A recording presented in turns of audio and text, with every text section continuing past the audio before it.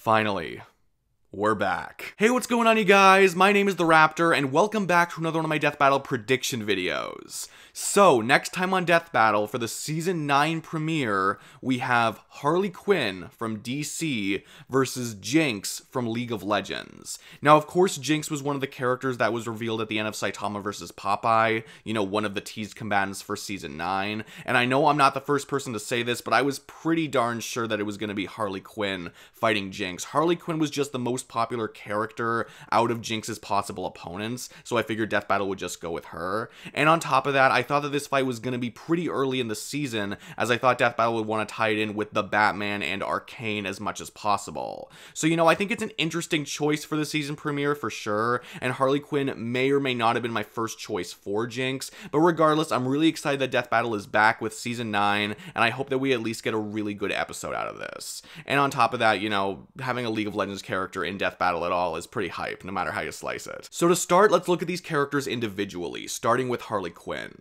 Of course, Harley Quinn has not actually been on Death Battle before, but other similar characters have been on the show before, and we know what Death Battle tends to do with them. For instance, when it comes to speed, I could see them scaling Harley Quinn up to Batgirl's lightning dodging feats, as they mentioned on the show before, and there are some feats in the Batman slash DC street tier realm that could possibly be used as arguments for putting those characters around around the relativistic range. But Death Battle has never really done that before with those kinds of characters, and I think Harley Quinn would be a weird place to start doing that. But they could possibly do that. That is definitely possible. But either way, she is still significantly faster than what a normal peak human would be at, of course, and she's also incredibly acrobatic. And locking down her physical strength is a little hard to do in terms of specifics. Again, her being a peak human in the DC universe is not the same as being a peak human in the real world, so it's a little hard to say. We do know, though, that she can hold up to Batman's strength a lot of the time, and with the help of a potion courtesy of Poison Ivy, she was actually able to fight characters as strong as Killer Croc. Again, if Death Battle decides to include that. She's also had a lot of other non-standard buffs over the years, and you could look at other stuff like Injustice scaling, for instance, but I'm not confident that Death Battle is going to be using any of that, so I'm just going to push it to the side for now. And Harley Quinn's physical power is not the only thing she has going for her in terms of attack capability. She also carries a ton of explosives and other similar gadgets, which you could argue are powerful enough to threaten Batman in his standard suits, which Death Battle has analyzed a bit before. They don't seem to be able to go much further than that, but still, it's impressive nonetheless. And we also know that she's at least a decently skilled fighter when compared to a lot of the other characters in the Batman realm. She's fought Batman and Joker and Two-Face and Black Mask and a ton of other characters. We know she's also intelligent, at least as far as her medical training is concerned, and in terms of battle tactics, at least to a degree. And she also carries a ton of other weapons on on hand pretty much all the time, mostly including her mallet and her pop gun, possibly also Joker Venom. I'm not sure if Death Battle is going to include that. I don't think she carries it on her all the time, especially after she and the Joker split, but they might include it. I'm not sure. And she also carries a bunch of other wacky weaponry that fits her character sometimes, like various guns, possibly even rocket launchers, you know, wacky stuff like that. So now we move on to Jinx, and of course, we've never seen a character quite like Jinx show up on the show before, so there's really no basis regarding what Death Battle Battle will or will not say about her. But of course, you know, she's not unanalyzable, so we'll try to do our best for this prediction video. Now, I'm not sure whether or not it's been confirmed if Jinx is going to get stuff from like Odyssey Jinx or Star Guardian Jinx,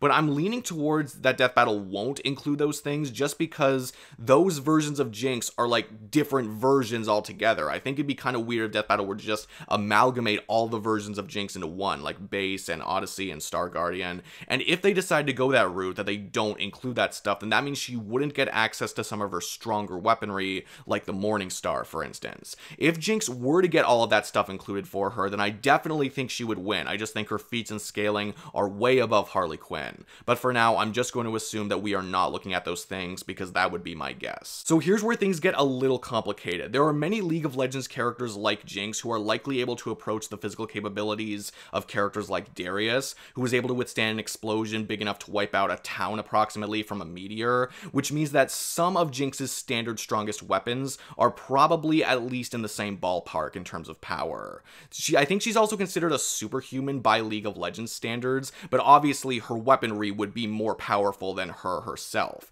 And in terms of her standard weaponry, she has Pow Pow, which is a machine gun, she has Fish Bones, which is a rocket cannon, her Zap Blaster, which is a gun that shoots electricity, her exploding fire chompers, and the Super Mega Death Rocket, which I think is pretty self-explanatory. There's also the possibility of Summoner Rift items, which are potentially even more powerful, and she's been known to carry other useful items, such as a gas mask, for instance. Speed-wise, there doesn't actually seem to be that much for Jinx, at least as far as like supersonic feats are concerned, although you could make the argument that many League of Legends characters are able to react to light attacks from Leona, as we have seen it happen, and I believe there are a couple of other examples as well. Again, it's hard to say whether or not Jinx scales or to what degree she would scale, but regardless, light stuff does exist in the League of Legends universe at least. We know Jinx is also a very skilled inventor and is able to think quickly on her feet on the battlefield. So obviously I could keep going and really get into the nitty gritty of these characters, but I don't want to waste time trying to go over every single thing that I know. But when trying to compare these characters, there are definitely some advantages that seem harder to lock down than others.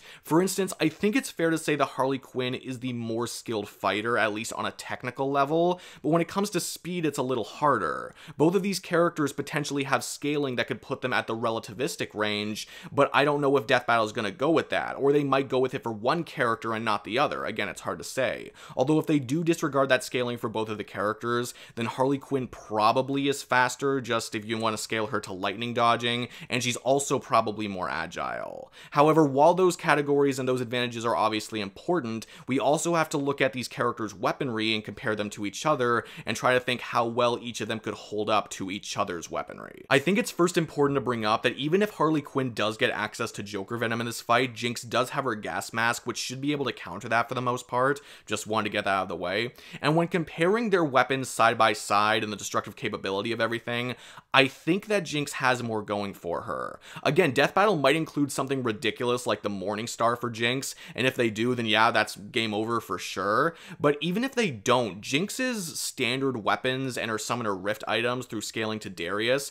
are just noticeably above anything that Harley Quinn has shown through her own arsenal, or even endured for that matter, to my knowledge. And even though I wouldn't be surprised if Harley Quinn and Jinx both definitively had the destructive capability to be able to overcome each other's durability, I'd still want to say that if anything, Jinx would have an easier time standing up to Harley Quinn's assaults than the other way around. I do believe Harley Quinn does actually have a feat that shows that she has some impressive accelerated healing when it comes to smaller scale attacks, but still, due to the rapid and overwhelming firepower of Jinx's weapons, I still think there's a bigger case to be made for Jinx throwing out more powerful hits than Harley Quinn on average, and Jinx being able to tank more of Harley Quinn's hits on average, especially considering a lot of Jinx's weaponry seem to be able to cover more physical area, like area of effect type stuff. And yes, while Harley Quinn does have a lot of impressive weapons and gadgets, like her explosives, a mallet, her guns, and possibly even more, I don't really see them holding up shot for shot. Honestly, this prediction is a little harder than I thought it was going to be. Again, if we're just looking at base, regular Jinx,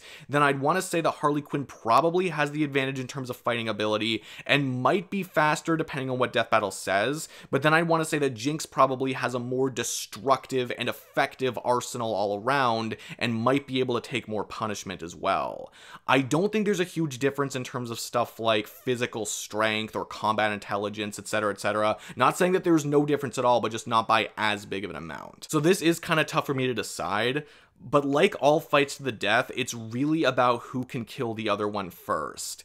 And even if Harley Quinn does have a bit of a speed advantage, I'd want to say that Jinx still has the necessary weaponry to be able to take Harley Quinn out before Harley Quinn can take her out. So because of that, and because of the fact that they might be including things that I'm not sure if they'll be including, or things that I haven't even brought up in this video, like Odyssey Jinx or Star Guardian Jinx or other assorted weapons that exist in League of Legends, I think it's more likely to side with Jinx on this one. I could definitely see Harley Quinn winning if Death Battle puts more of an emphasis on her advantages, and she might even have some advantages that I'm not even aware of or I might not be able to piece together. But as it stands right now for this prediction video, I think I have to lean more towards Jinx as the winner of this death battle. But anyway, guys, that is the prediction. I really hope you enjoyed it. If you did, be sure to give this video a like, comment your comments down below, subscribe if you could too. That would be amazing. That would really help the channel out. I am super excited for Death Battle to come back with Season 9, and even if this was not your first choice for the premiere or for, you know, the Jinx fight,